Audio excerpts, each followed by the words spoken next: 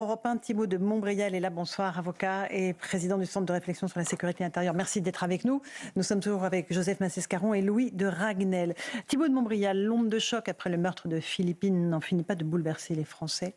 Ça remet en cause énormément de choses, ça ouvre les yeux sur une réalité que euh, certains avaient du mal à, appréhender. J'aimerais d'abord qu'on écoute un tout petit extrait de ce que nous a dit Nicolas Sarkozy. Il était l'invité exceptionnel de CNews et Europe 1 ce matin à propos des fameuses OQTF, obligation de quitter le territoire français. Il dit il faut tout changer. Écoutez-le. Le problème des EQTF, on doit tout changer. L'immigration et Schengen sont gérés par un commissaire européen que personne ne connaît. Schengen, qui gère les frontières européennes, doit être dirigé par un gouvernement européen composé des ministres de l'Intérieur qui éliraient en leur sein un président. C'est un sujet politique de première importance. Le responsable doit rendre des comptes Aujourd'hui, c'est un processus européen administratif. Voilà pour Nicolas Sarkozy, Thibault de Montréal. Il faut tout changer dans le système euh, qui préside aux EQTF Je pense que ce qu'il faut rappeler, c'est que la question migratoire ne, est une question de souveraineté et elle ne doit pas être traitée à l'émotion. Un pays, la France comme les autres, a parfaitement le droit de gérer sa politique migratoire mhm. comme bon lui semble, dans le cadre évidemment des traités qu'elle a signés. Mais pour le reste, euh, la France doit pouvoir euh, exercer euh, de façon tout à fait ferme son droit, notamment à ne pas garder sur le territoire des gens qui n'y sont pas désirables, quelle que soit la raison. non, mais je voudrais. Je, je, je crois qu'on est tous d'accord sur le constat. Oui, Sauf que là où ça se complique, c'est quand on rentre dans les réalités. Mhm. Songez qu'au moment où la France euh, a transposé en droit interne la, directive retour, c'est-à-dire la directive qui prévoit, les, qui donne le cadre des règles européennes euh, que les États membres doivent respecter. La France a transposé cette directive, comme d'ailleurs toutes les autres directives en matière de sécurité, à minima. C'est-à-dire que l'Union européenne donne un cadre assez large dans lequel les pays font ce qu'ils souhaitent. Et que, pour prendre l'exemple des OQTF, la France a limité à 90 jours le droit de garder les gens dans les centres de rétention administrative, là où euh, le texte euh, prévoit d'aller jusqu'à 6 mois. Donc pourquoi est-ce que euh, les, législateurs français, à chaque mhm. fois, décident de transposer à minima? En réalité, les perdants dans ce genre de transposition, ce sont les citoyens français. C'est quelque chose qu'il faut rappeler. Autre chose, pourquoi est-ce que nous avons, dans notre droit, voulu insérer pendant la période de 90 jours, donc dans le cadre de laquelle on peut garder les gens en rétention administrative le temps euh, d'avoir les documents pour permettre de les expulser, le recours au juge est prévu quatre fois. Et du coup, ça crée des effets pervers terribles parce qu'il y a des audiences qui en pratique ne servent pas à grand-chose, qui euh, prennent du temps pour les juges, pour les greffiers, où des avocats commis d'office sont payés par le budget de l'aide juridictionnelle, c'est-à-dire par le budget de l'État, pour plaider contre la France, mmh. euh, et euh, tout ça sans beaucoup d'effets, parce que en pratique les décisions sont régulièrement les mêmes, et avec l'effet pervers. Pourquoi vous parlez d'effet pervers? C'est que dans l'affaire de Philippines, on s'est rendu compte, en l'occurrence c'est moi qui ai, soulevé la, chose sur, sur un autre plateau, que le, parquet était absent à l'audience. Or le parquet euh, c'est euh, l'avocat de la société en quelque sorte. Alors on m'a dit après, j'ai reçu des coups de fil de magistrats qui m'ont dit mais les parquets n'y vont jamais à ces audiences parce que c'est des audiences de, tout qui, sont euh, qui se répètent. Automatiques quasiment, d'accord. Mais sauf que le rôle du parquet, c'est précisément d'être vigilant sur les dossiers particuliers, les dossiers qui méritent mmh. d'être signalés. Quand un individu mineur euh, en situation irrégulière commet un viol abominable, parce que pour être condamné à 7 ans comme mineur, mm. il a nécessairement commis un viol dans des conditions abominables, sur lesquelles mm. d'ailleurs on a appris quelques, quelques détails euh, terribles depuis. Mais euh, c'est forcément que c'est un individu qui est dangereux, il a commis un crime, il n'a plus rien à faire sur notre territoire, le parquet n'est pas là, et euh, une magistrate estime devoir faire une, euh, une interprétation contestable du texte pour le. Est-ce que, Thibault de Montbrial, on peut avoir là, dans la même euh, phrase les mots de fermeté et d'humanité concernant l'immigration?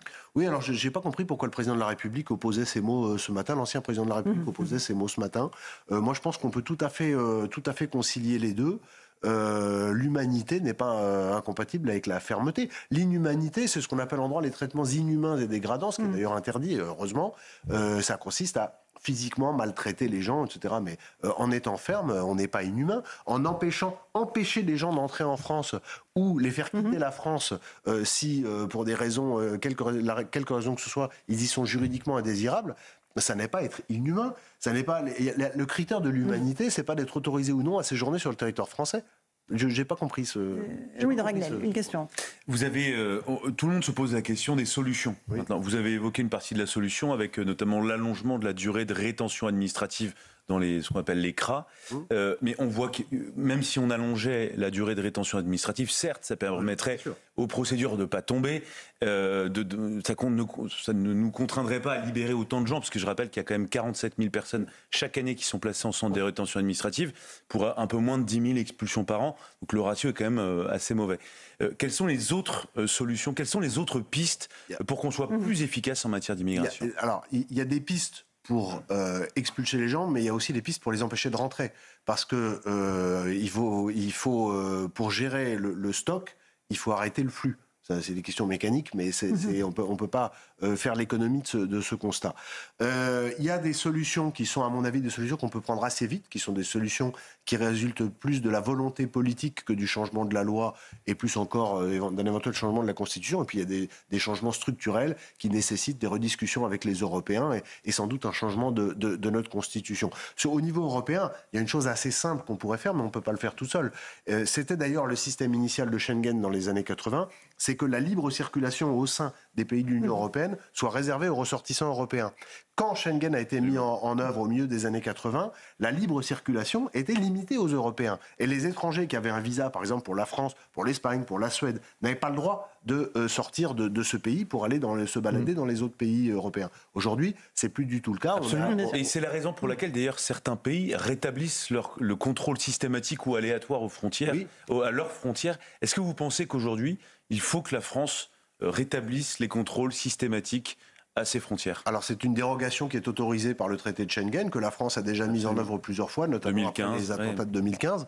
Euh, moi je pense qu'il faut le faire. Le problème c'est que c'est limité de mémoire à, six mois. Euh, c'est passé à deux ans maintenant. Alors, mais, donc, mais je pense que le problème, alors la réponse est oui, mais après, vous avez une autre, une autre difficulté, c'est qu'il n'y a, plus les, il y a, plus les effectifs pour le faire. C'était le travail des douaniers. Il y a plus euh, les, douaniers, le, fonctionnaire. des douaniers mmh. a été diminué mmh. puisqu'il n'y avait plus de frontières euh, au sein de, l'Union européenne. Donc ça nécessite, ça nécessite un réarmement mmh. euh, qui, qui, qui, va prendre du temps. Mais la réponse est oui. Mais je voudrais juste répondre aussi sur, la, sur le, volet plus politique, sur des, solutions qui peuvent être beaucoup plus rapides à mettre en œuvre et qui ne changeront pas tout, mais qui permettront d'améliorer les choses. Je suis un des premiers à avoir dit, alors je me réjouis parce que ça, ça a l'air d'infuser ce week-end, ça a infusé. Euh, mais que, euh, là, comme je vous disais pour commencer, que l'immigration n'était pas une question qui devait être traitée à l'émotion, mais à l'aune de l'efficacité, notamment pour la sécurité des, Français, il est absolument indispensable que la France rétablisse avec les pays dits d'origine de, l'immigration ou les pays sources, j'ai entendu cette nouvelle expression, peu importe, c'est que euh, euh rétablisse des, solutions de, de d'égal à égal, c'est-à-dire ne, ne, ne s'excuse plus, ne s'excuse plus devant les pays d'origine d'expulser les délinquants parmi la population, les populations d'origine. Et pour ça, c'est des rapports de force. Ce sont uniquement mmh. des rapports de force. Et pour mmh. ça, il faut avoir le courage de le faire. Qu'est-ce qu'on rapport de force Joseph. Vous voyez Jean-Noël Barrot introduire, induire, je ne fais aucun procès à Jean-Noël Barrot, mais vous voyez Jean-Noël Barrot, euh, parce que ce n'est pas tout à fait dans la culture démocrate chrétienne, euh, introduire un rapport de force vous le voyez introduire un, rapport avec euh, l'Algérie, avec l'Algérie par exemple. Moi, je connais pas, euh, je connais pas Monsieur Barrault et j'ai aucune raison de lui faire de, procès d'intention. Mais je pense que euh, les représentants français en charge de ces dossiers devraient parler à tous ces pays en leur disant la chose suivante. c'est extrêmement simple. Il y a un principe de réciprocité. Vous ne voulez pas reprendre vos ressortissants qui ont commis des crimes et des délits en, République française. Eh bien, un, plus de visa, non seulement pour mm. le regroupement familial, les étudiants, etc., mais également pour les membres des familles des dirigeants qui viennent se faire soigner à l'hôpital américain à Paris ou profiter de leur villégiature euh, à, Saint-Tropez euh, ou à Megève. Deuxièmement, euh, restreindre ce qui pose des difficultés techniques, mais restreindre les flux financiers de, Western Union, etc., dont ces pays ont un besoin vital pour leur économie. Et troisièmement, restreindre, parce qu'on ne peut pas la, fermer, l'empêcher pour, des raisons euh, complexes à expliquer en deux minutes, mais restreindre euh, l'aide au développement à ces pays. Mm-hmm. Et si on rentre dans un débat où on montre que l'on est déterminé à aller jusqu'au bout, forcément les choses vont, vont s'arranger. C'est humain. Quand vous, êtes, mm. quand vous êtes fort sur une ligne de, de, de, négociation, les choses ne peuvent que s'arranger. Thibaut de Montbrial, est-ce que Bruno Retailleau, qui s'est exprimé ce week-end dans le JDD, a raison lorsqu'il dit l'état de droit, ce n'est pas intangible ni sacré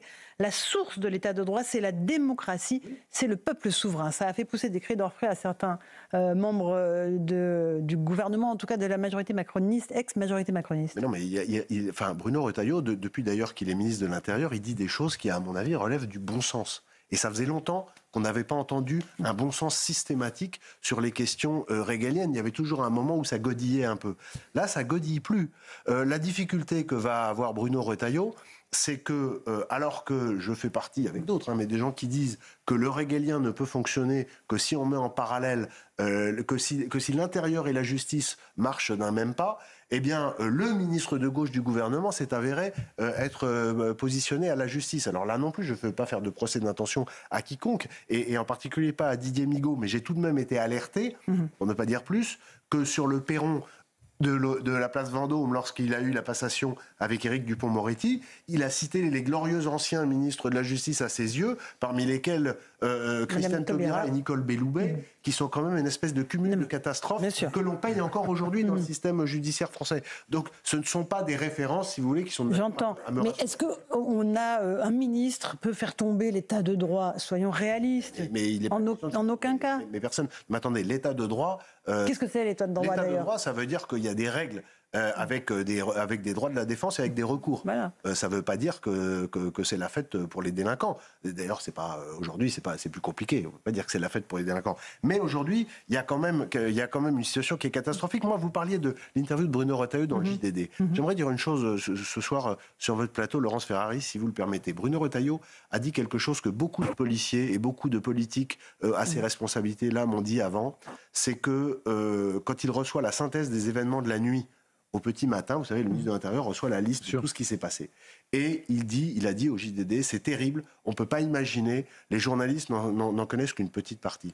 Et moi, j'ai fait une petite liste avant de venir mhm. de choses qui sont dans la presse, qui sont dans la presse, qui ont lieu depuis mhm. l'atroce assassinat de euh, Philippines. Sur ce week-end, mhm. j'ai relevé trois événements. Samedi, au McDonald's, de, restaurant McDonald's de Gonesse, euh, un adolescent a été blessé à la hache euh, un groupe d'individus qui s'en sont pris à lui au milieu du restaurant et au milieu des clients. Dimanche soir à Bordeaux, lors de la fête de la Saint-Michel à 19h30 place Ménard, il y a une quinzaine d'individus cagoulés qui, qui, ont déboulé euh, au milieu euh, des gens qui étaient tranquillement en train de prendre l'apéro sur leur terrasse, aux terrasses des cafés, pardon, et qui ont renversé des tables, etc., etc., en terrorisant les gens. Et à Suble, dans le Calvados, samedi soir, le, jeune Kylian Binard, qui, est, qui était champion de boxe junior, a été assassiné à 17 ans par un coup de couteau euh, par un migrant algérien de 24 euh, ans. C'est-à-dire que Kylian vient rejoindre la, la liste euh, des Philippines, des Matisse, des Thomas, des Lola, qui sont tués mmh. par des individus qui sont issus de l'immigration. Ce que je veux vous dire, Laurence Ferrari... Le cas de Thomas Akrepol n'a quand même rien à voir avec cela. Oui, enfin, c'est quand même des gens qui sont allés. On ne parle pas de QTF. Non, non, non, non on ne parle pas de QTF. Mais on est d'accord. On parle de gens qui sont issus de l'immigration. Mm, mm. Donc, le, le, problème, si vous voulez, c'est que Bruno Retailleau a parfaitement raison de faire quelque chose qui aurait dû être fait depuis longtemps et qui est vital. C'est de dénoncer, d'alerter sur la gravité de la situation. Parce que si l'État ne s'empare pas euh, de, de, de, ces questions, euh, c'est le peuple qui va le faire. C'est la nature horreur du vide. Les, on sent monter. Moi, je, avec le centre de réflexion sur la sécurité intérieure, je, je, vais régulièrement en province. Et je sens de moi en moi l'exaspération monter. Cette exaspération, elle doit avoir une réponse de l'État. Si l'État ne répond pas, l'État va être en très grande difficulté. Mmh. nous sommes face vraiment à un phénomène. Moi, je pense qu'on n'a plus beaucoup de temps pour, que, pour, pour, euh, pour agir et pour que cette action euh, soit déterminée. La dernière chose que je voulais vous dire, c'est qu'il y a eu euh, à Essen en Allemagne mhm. un attentat islamiste abominable sous la forme d'un périple meurtrier par un individu de 40 ans, syrien, qui a mis le feu à deux immeubles et qui ensuite a été attaqué les gens à la machette. Il a fait 31 blessés, dont 8 enfants. Il n'y a pas eu une ligne dans les médias nationaux français, euh, ni, ni audiovisuels, euh, ni de presse écrite. Je trouve qu'il y a là une espèce de, de, de, de déni d'une forme de réalité que les gens dans la vraie vie voient Et il est absolument urgent que nos dirigeants la voient. J'espère que Michel Barnier, demain, dans sa politique de politique générale, son discours, dans son discours de politique générale, et j'en termine par là, dira que certes, et, c'est absolument crucial, le budget, c'est la mère de toutes les batailles, mais dans les choix budgétaires, dans les arbitrages budgétaires, il faut absolument que le régalien euh,